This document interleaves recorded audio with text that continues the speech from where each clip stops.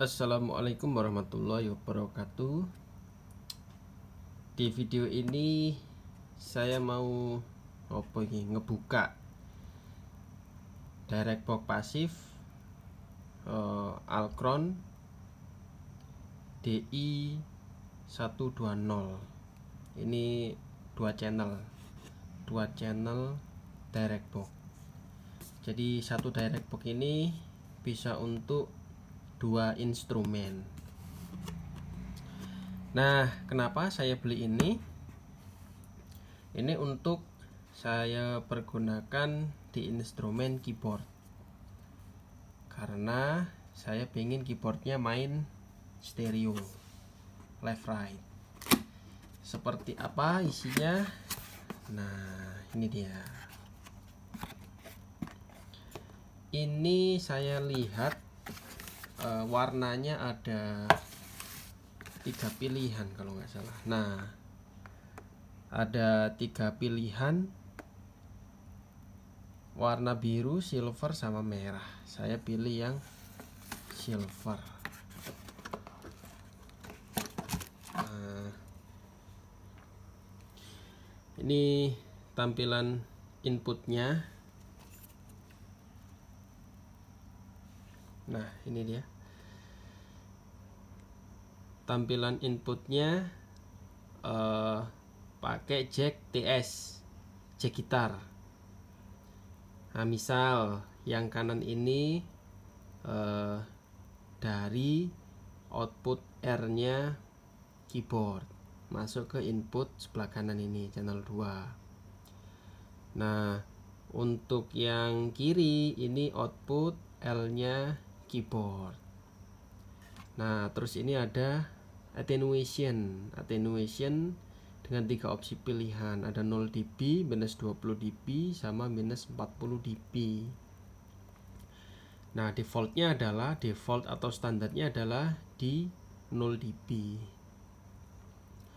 Nah terus para out ini maksudnya apa? E, parameter out ini maksudnya kalau misalnya kita punya gitar ya gitar bass gitar akustik gitar melodi rhythm e, dari gitar itu kita colokan ke input sini. Nah nanti para outnya ini nyambung ke ampli gitar. Itu bisa. Nah yang menuju ke ampli gitar itu tidak ada pemrosesan apa pun. Artinya dari input langsung ke output tanpa adanya proses. Tapi kalau misalnya masuk ke input ini dan keluarnya ke sini lewat sini balance out XLR ini ini yang akan kita masukkan ke mixer. Nah, kalau keyboard kan berarti kalau saya main stereo ya berarti di mixernya butuh dua channel channel 1 channel 2 misalnya. Nah nanti penpotnya tinggal digeser aja ke kanan full ke kanan channel satunya full ke kiri. Nah kalau yang gitar satu channel tadi ya berarti hanya butuh satu channel di mixer. Jadi tergantung kebutuhan aja. Nah terus di sini ini ada ground groundnya ini modelnya sweet was ini nah.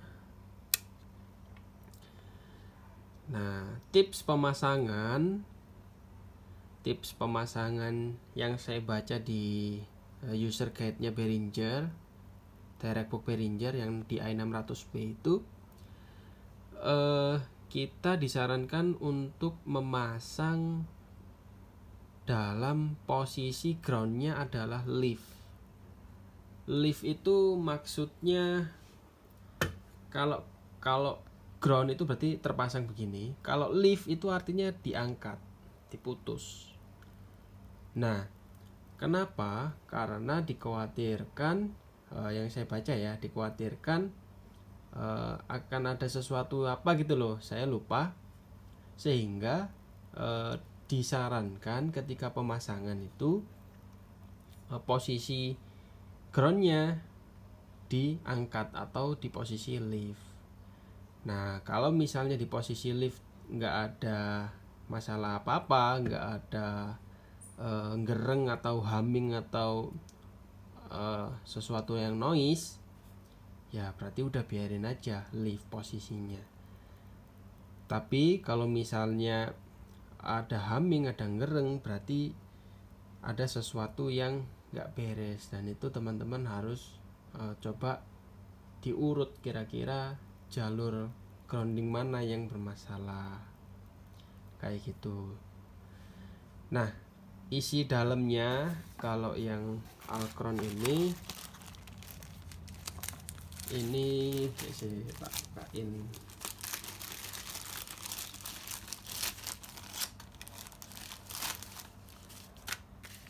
ini ada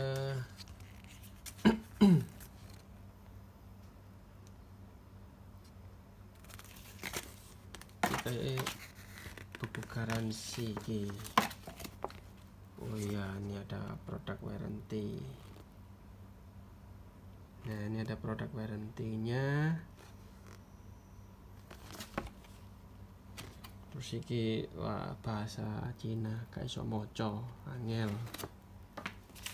terus ini ada buku panduan.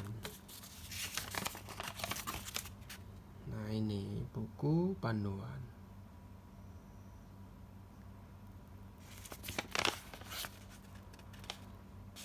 Nah ini ada salah satu contoh. Ada contohnya ini contoh pemasangannya. Nah jadi dari gitar masuk ke input para outnya itu ke ampli gitar terus XLR outputnya ke mixer. Oh iya satu lagi. Kalau misalnya teman-teman itu pakai